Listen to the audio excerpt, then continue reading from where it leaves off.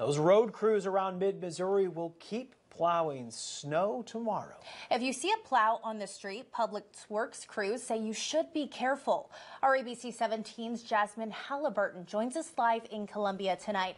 And Jasmine, how are Columbia and Jefferson City crews staying on top of this weather?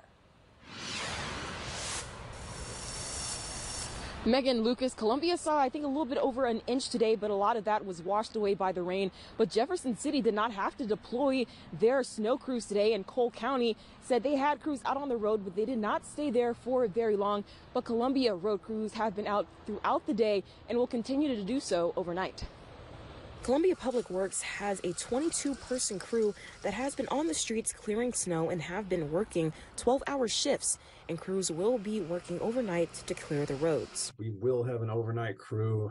Uh, our shifts are typically 7 to 7, so a crew will come in at 7 p.m. I will provide updates there on uh, how many snowplow drivers we have working at the 7 p.m. to 7 a.m. shift and we'll continue with those 12 hour shifts as the, the event continues. With plows hitting the streets and snowfall expected to continue tomorrow, John Oken suggests people who are driving turn on their headlights no matter what time of day it is. If you encounter a plow, it's uh, best not to tailgate them. And if uh, you could, please don't pass them, especially not on the right. They should be able to uh, see you. However, if you're passing on the right, they may not. And I would hate to uh, endanger drivers or have there be a crash. Uh, if you could just stay behind the uh, plow at a, a respectful distance.